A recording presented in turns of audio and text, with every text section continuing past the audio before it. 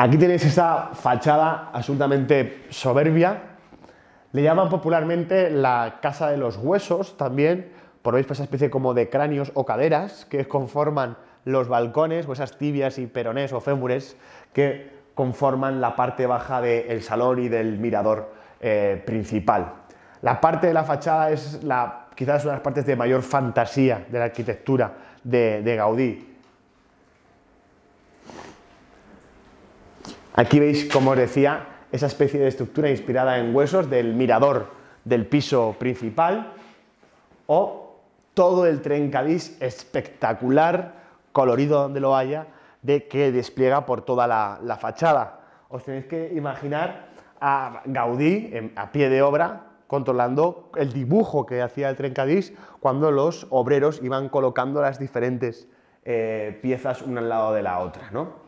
Se ha interpretado desde, se ha dicho que si es una representación del carnaval de Venecia con las máscaras y el confeti, que si es un lago vertical con las algas y las cuevas eh, marinas, incluso se ha relacionado con la pintura del impresionismo, ¿no? que sería como un cuadro de Monet pero hecho con eh, trencadís, las hojas de otoño soplando por la colina sagrada del Montserrat, ¿no? o sea, la interpretación que queráis. Y, es que es todas y ninguna, porque eso es lo interesante de esta casa, ¿no? que cada uno se la hace propia con su propia interpretación. Cualquiera puede ver de todo, porque no es nada. Eso es lo interesante de Gaudí. Juega ahí en un, en un límite, una tierra como, como de nadie. Son formas que nos recuerdan a algo, pero realmente si lo miramos, no lo son.